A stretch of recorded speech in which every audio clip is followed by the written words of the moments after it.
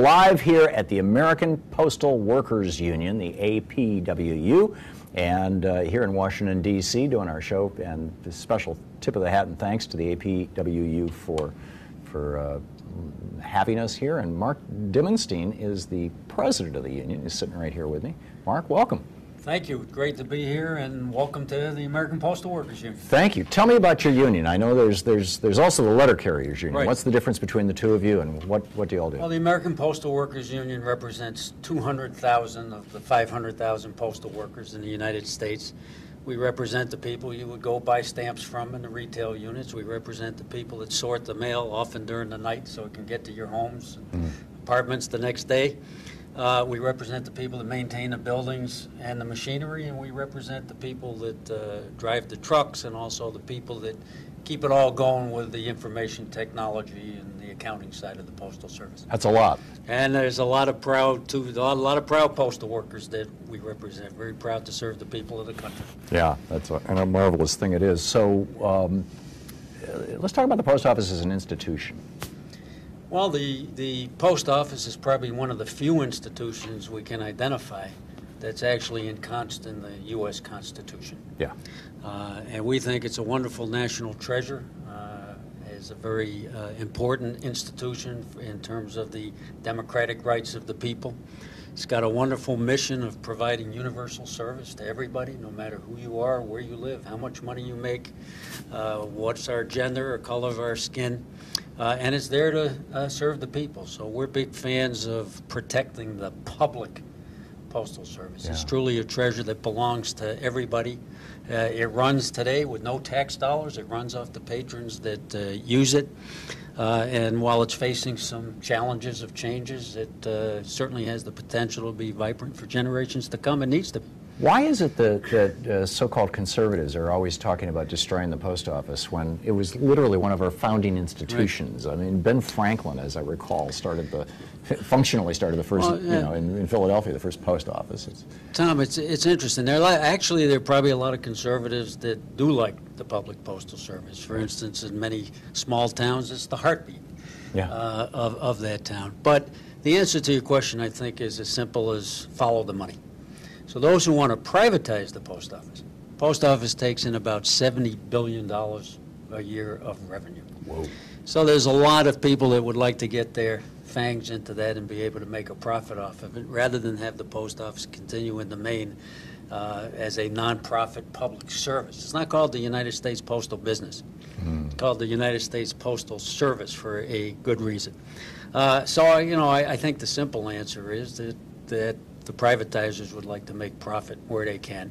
Yeah. And of course, when something gets privatized, whether it's the postal service or public transportation or any, any other form of public service, uh, uh, those entities that are making a profit uh, are going to both reduce service generally and lower wages and benefits for the workers generally, which also spins off in a negative way into our communities.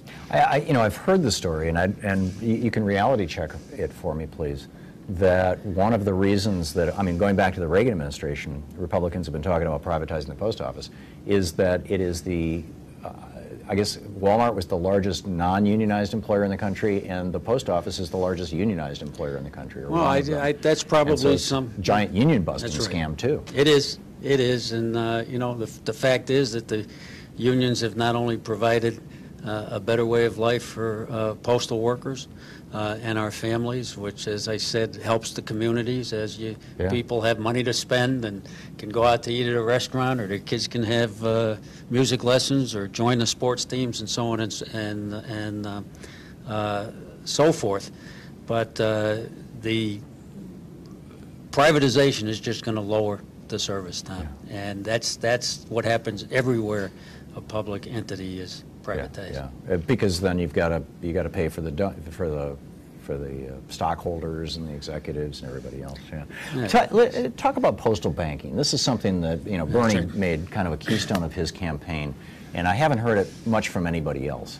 Well, our union is uh, working very hard on what we call a campaign for postal banking. So what you have in this country, and the post office is well positioned to address a deep social need.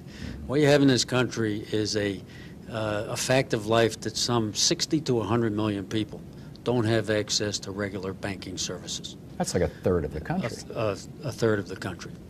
And that's accelerating as well, because banks are less inclined to be in neighborhoods, less inclined to be in small towns or, or, or urban neighborhoods, and so on. And when they And are, if you're poor, the fees will just kill you. so the, the fees are killing people. So what we have is this development uh, over many decades of what we call the predatory payday lending industry or legal loan sharking. Right.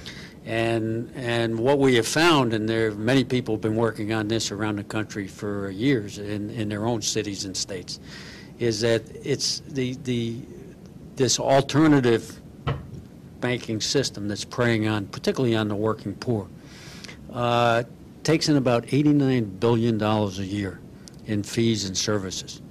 And the Office of Inspector General of the United States Postal Service, so this isn't coming from the American Postal Workers Union, uh, they actually did, did a study that showed the average person that makes $25,000 a year that gets stuck in this predatory lending industry, payday lending, check cashing, pawn shops, and so on and so forth, spends $2,400 a year in fees and services. That's 10% That's why it's their such a profitable industry. So now here we have a United States Postal Service, publicly, in the public domain, public servants, accountable to the people, trusted, like no other agency It's the post is, office, is yeah. trusted in, in, in the post office. Uh, That's in every town, 33,000 post offices. Mm-hmm. Why can't the post office, as they have done in the past, uh, why can't the post office basically establish uh, a, a public option for banking? Now, it's done all over the world. Yeah, I, I It- lived in Germany in the 80s, and you could, you could do basic banking stuff. Basic banking. And actually, the post office still today does some financial services, such money as money orders, orders. yeah. And we would like to see that expanded. Uh, There's no reason why the post office can't do paycheck cashing and people don't get ripped off just just cashing their paycheck. There's no reason that they can't put, uh, have some kind of low-fee debit cards, uh, no-fee um, ATMs, money transfers, both domestically, internationally. So we're part of a, uh, a national campaign for postal banking. Although when we say postal banking, we're really talking about, at least in this moment, some expanded financial services. We think it would be great for the people of the country, it would serve a real social need. It'd be great for the post office, because the post office is there to serve the people and bind the people together, and this is another great way to do it. Right. And we have a website, we meaning the Campaign for Postal Banking, for, for, for your listeners who are interested. It's called campaignforpostalbanking.org, and it's a coalition of 18 or 20 national groups working on this That's great. And the four is spelled out F-O-R. So it's F.O.R.. campaignforpublicbanking.org. For postal banking. Postal banking. Postal banking. Campaign for postal banking. Postalbanking.org. Yeah. Yeah. That's great. That is great. You- And by by the way, Thom, every time somebody hears about this, they think it's a great idea. Now, we don't talk to big-time banking CEOs. They may not think it's such a great idea. They don't like the But. The people on the street, the people we talk to in, in the workplaces, and our own members would really love to Do we have provide any that kind of champions in service. Congress for this? Yes, uh, Senator uh, Warren Mm-hmm. uh, from Massachusetts is, is a big champion. Uh, Senator Brown of, uh, of. um, Sherrod Brown of- Ohio. Of Ohio, and of course Senator Sanders has been uh, very keen on this uh, issue as well, and, and and I'm sure there's many more. Right. But those, those are the most notable. We're hitting a break. Mark Dimondstein, the president of the American Postal Workers Union, with us, and we're broadcasting live from